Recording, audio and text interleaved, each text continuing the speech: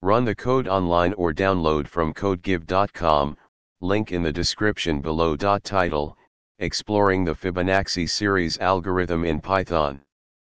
Introduction The Fibonacci series is a sequence of numbers where each number is the sum of the two preceding ones, usually starting with 0 and 1.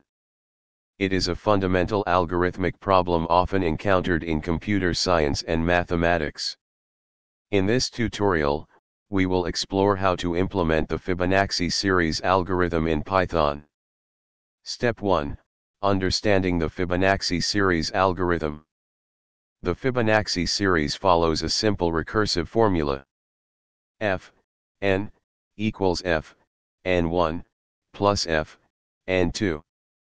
Where f, 0, equals 0 and f, 1, equals 1. This formula generates the Fibonacci sequence. Step 2, Implementing the algorithm in Python. Now, let's implement the Fibonacci series algorithm in Python. We'll provide two different implementations, using recursion and using iteration. Step 3, Testing the implementations. Let's test both implementations using the same input to verify their correctness and compare their performance. Step 4, Conclusion.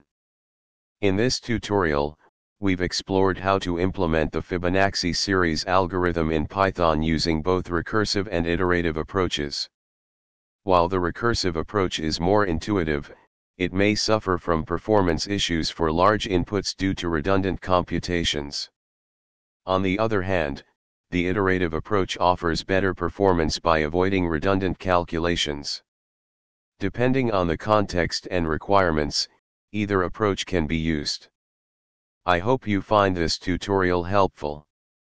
Let me know if you have further questions or need clarification on any part.